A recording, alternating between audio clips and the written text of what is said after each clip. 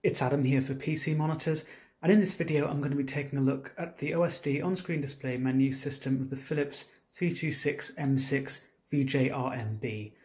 OSD is controlled by a joystick at the rear of the monitor towards the right side. You can see that there.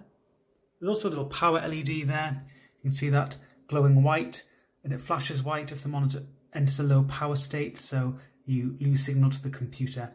You can't disable the power LED in the OSD, but it's not particularly bright and it's not obnoxious, so I wouldn't really worry about that too much. The first feature I'm going to go through is Ambilight, and the reason for that is that some people look at this video just to see this feature. So you can see it will flicker on the video, that's because these lights do use pulse width modulation unlike the main backlight of the monitor. So you can see flickering in the video, but Generally, you won't really notice this. Just gives a little bit of a glow underneath the monitor and a bit behind it, towards the bottom at least. As you can see the LEDs there.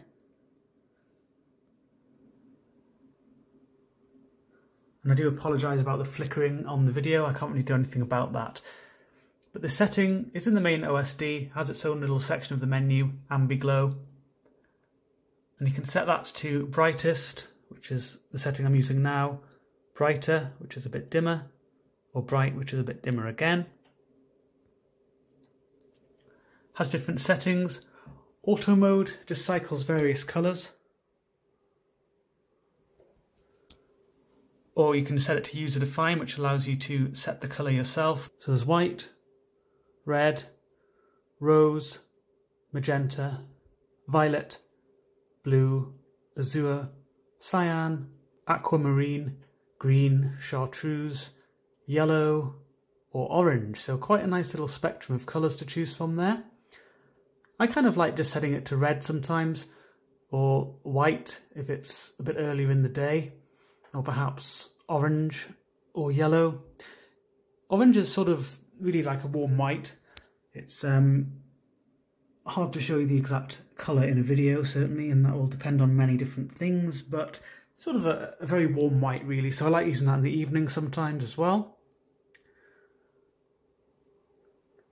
So now I'm going to move on to the OSD itself and the control system. So the joystick can be a bit of a stretch when you're just sitting at the desk to actually use and certainly when you've got a tripod in front of your desk and you're trying to record a video, very tricky indeed. So I'm just basically standing up, so I might sound a little bit weird on this video, it's because I'm actually standing above the camera. But as I said, it is a bit of a stretch. Unless you've got orangutan arms, I really do sort of have to stretch quite a bit when I'm using this system. And it's a little bit annoying for that reason, but you don't have to go into the OSD too often, so it's not a, a big deal really. The actual control of the joystick's fairly intuitive. If you press it up without entering the main menu system, you can quickly select the input used by the monitor. Left allows you to change to one of the Smart Image game presets. Various different options. Some of these are explored in the review, but all these really do is change the options in the OSD to various settings. And the FPS just gives you a very sort of cool, overly sharp look to the image. Racing looks too green and too cool. And I don't mean cool as in a good thing, I mean cool as in the colour tone.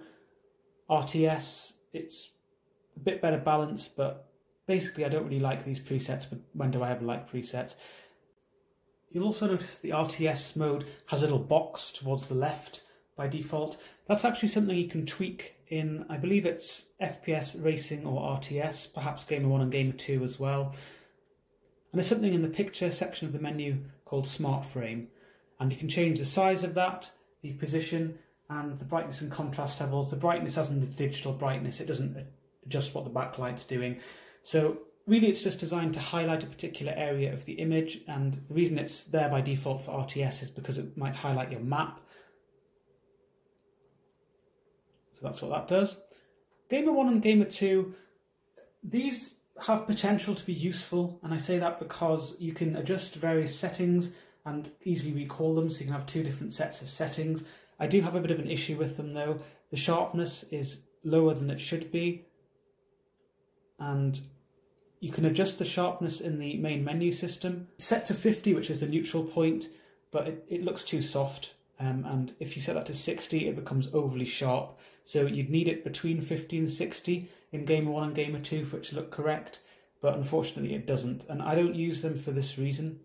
Um, and I don't know if that's just a bug with my unit. Perhaps it'll something that will like, fix with later firmware. It's not a, massive issue, um, but it is a bit annoying. It's not something which I experienced in when I had Smart Image Game set to off, which is my preferred setting, and I prefer just tweaking things manually. There's low blue mode, and that's the low blue light settings of the monitor. I'll go through them in the main menu system. Smart uniformity, which is a uniformity compensation setting, so that evens out the luminance at various different areas of the screen to have it more uniform. And that's explored in the written review. Or off, my preferred setting. If you twiddle the joystick down, you can adjust the volume of the integrated speakers or anything connected to the 3.5mm jack. There are some other audio settings and I'll go through them in the main menu. I'll open that now. So you can see Ambiglow, which I've gone through already. Low blue mode. If you have this set to on, you can set it to various different intensities. One being the weakest setting, two being stronger, three being stronger again, four being stronger again. These are explored in the calibration section of the written review, but they do work effectively. That's useful in the hours leading up towards bed when you should cut out stimulating blue light as much as possible, or just if you prefer to have a more relaxing viewing experience at other times as well. Input allows you to select the input used by the monitor. Picture, which are sort of the main settings really. Various different settings here. HDR, you can set the HDR mode to normal or VESA HDR 600. These are explored in the review. Normal has a lower peak luminance than VESA HDR 600 and the offsetting, as you'd expect, will just forcefully disable HDR even if you're trying to run HDR content. If you're running normal SDR content, as I am now, it doesn't matter what you have the HDR setting set to, it'll just ignore the setting. Brightness, you can adjust that. You can adjust the contrast, sharpness. As I mentioned, Gamer 1 and Gamer 2 sort of messed this up a bit, but 50 in most presets will give you a neutral sharpness. 60, 70, 80 they oversharpen the image. Some people do prefer a that kind of look, but uh, particularly if they're running lower resolution than the native resolution of the monitor, perhaps, or if you decrease that, it gives a softer look to the image. Smart response settings, the pixel overdrive feature of the monitor, off fast, faster and fastest, explore this in the review. Smart contrast, that's a dynamic contrast setting of the monitor, also explored in the review. Smart frame, which I mentioned earlier. You can change the gamma setting of the monitor 1.8, 2.0, 2.2, 2.4, 2.6. Don't necessarily expect that these will be spot on what they, they say they will be. That's not necessarily the case. You can see in the review there are some deviations um, for some of the settings, but you can expect them to certainly reduce your gamma if you have them set to a lower number or increase your gamma if you have it set to a high number. Pixel orbiting. This is designed to reduce the chance of image retention, and every now and then it'll just nudge the pixels momentarily one value and then nudge them again the other way. It's not something I actually noticed the monitor doing, to be honest, so it does it very infrequently, and I would just leave this setting enabled. I didn't have any image retention issues on this monitor myself, though, anyway. Overscan, and that just applies to all the legacy systems. PIP, P by P. There's a picture-in-picture and picture-by-picture settings for the monitor. It supports two different sources, the primary and secondary source, so it doesn't have four-way P by P or anything like that. So that's picture-in-picture. You can have another source just displaying there. You can also change the size of that box or the position of that box on the screen. The input used in that box, you can swap the sources as well. So you can have it a bit larger or larger again. And you can change the position, top right, top left, bottom right or bottom left. Swap the sources. And PBP, picture by picture. And this will give you an undistorted image to the left and right it says change resolution to 1920 by 2160 for full screen. So if you're using that resolution, it will fill the whole screen.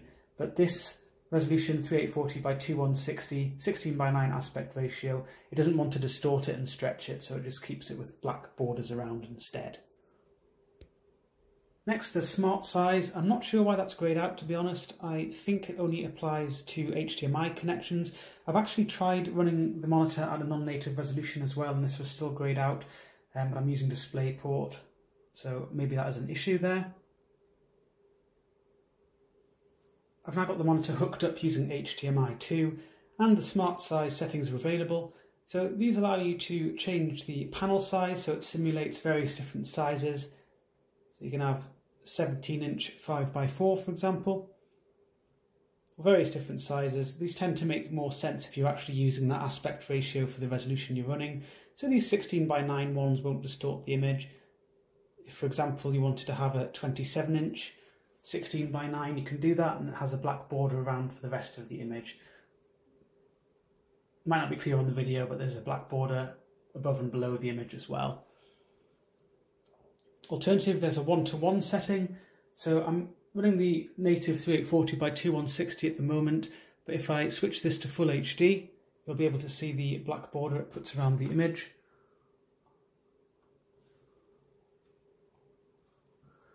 Using the one-to-one -one setting. So you can see there, there's a large black border around the image. The edge of the monitor is sort of where my hand is at the moment. Big black border around the image. There's also an aspect setting, so that will maintain the aspect ratio and it will fill out all of the pixels except that it'll make sure that it's not distorted if you're using a non 16 by 9 resolution. Whereas if you have the default selected, which is 31.5 16 by 9, it will always use an interpolation process and use all of the pixels on the monitor and it'll fill that up with your source resolution. So if it isn't 16 by 9, you will get some distortion. Um, in terms of the, the things either looking squashed or whatever it might be, depending on the resolution. Audio, so this allows you to adjust the volume of the integrated speakers or anything connected to the 3.5mm jack. Standalone, um, again, I, I can't remember off the top of my head exactly what this does. I think that is just how you select the 3.5mm jack rather than the speakers or something like that. Um, you, can, you can check in the manual. Mute, you can mute the integrated speakers or anything connected to the 3.5mm headphone jack. And that's just the same as setting the volume to zero. Audio source. So you can adjust the audio source used by the monitor. So you can select audio input there, which would be the 3.5 millimeter audio input jack. Or you can have it fed from the PC via the HDMI cable or DisplayPort cable, whatever you happen to be using. DTS, so this is DTS sound. This is basically sort of a spatial enhancement to the sound, if you like, a filter. Uh, audio isn't really my area, so I do talk about this a bit in the written review, so feel free to have a look at that. But as I say, it's not really my area, and I'm a monitor reviewer, not an audio reviewer. But if you have DTS disabled, there's an EQ setting which you can adjust. So you can adjust various different aspects of the equalizer. I would mention though, um, you won't be able to hear this on the video, but if you have DTS enabled, there's kind of like, uh, and you don't have the speakers muted as I do right now, there's also, it's a bit of a pause when you first enable DTS, so I can't use the OSD at the moment. It sort of seems like it had crashed, but it's just a bit of a pause.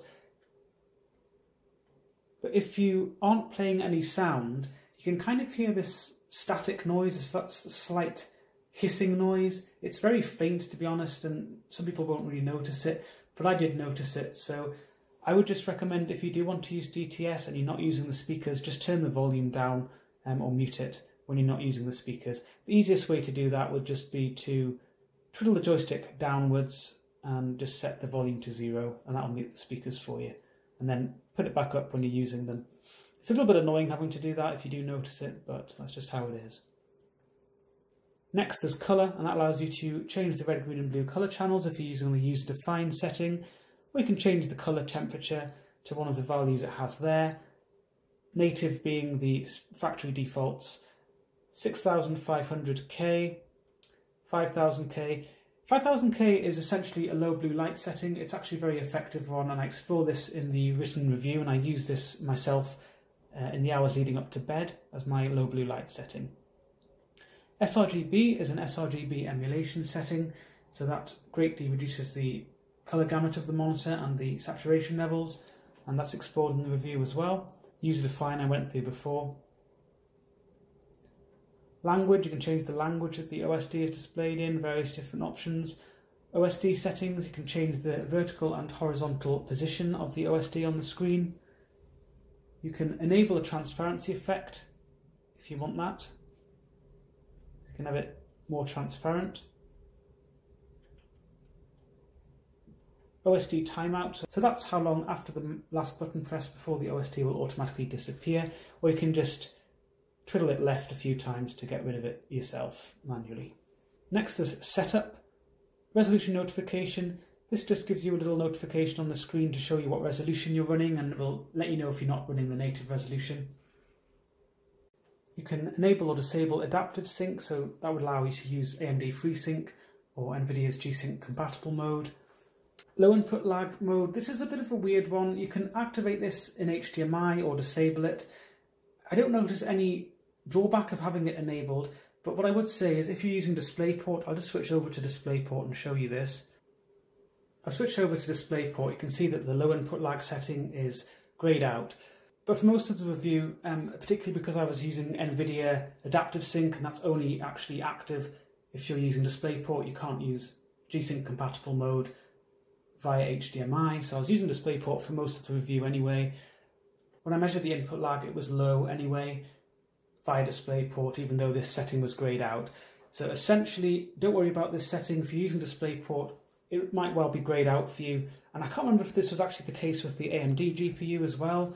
I think it was, uh, but certainly on my NVIDIA GPU, it's, it's grayed out, wouldn't worry about it. It has low input lag anyway. Reset, so that resets everything to the factory defaults. Information, that will allow you to see various things such as the serial number, the model number, or shortened version of the model code, and also the current resolution and refresh rate. That's useful for a few reasons, the resolution and refresh rate. One is that you can tell if it is your monitor using interpolation if you're using a non-native resolution rather than the GPU scaling for you. So if you see this stuck at 3840 by 2160 even though you're running a lower resolution that means your GPU is handling the scaling so you should, so you should adjust some settings in your graphics drive or try a different resolution. And if this matches the resolution you're actually running, that's good in terms of the monitor doing the scaling.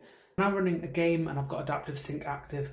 You can see that the refresh rate is now fluctuating and that's because it will match the frame rate if adaptive sync is active and it's within the variable refresh rate range of the monitor. So your game is running between 40 and 60 frames a second, that will reflect the frame rate of the content.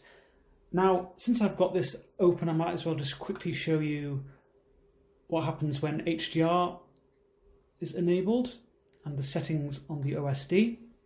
They do change. I've now got HDR enabled, so you can see it says it said HDR mode in the center of the screen when it first switched over. And a lot of this is now grayed out, a lot of the menu, especially lots of the picture menu. You can change the HDR mode as I mentioned before, but you can't manually adjust things like the brightness or the contrast.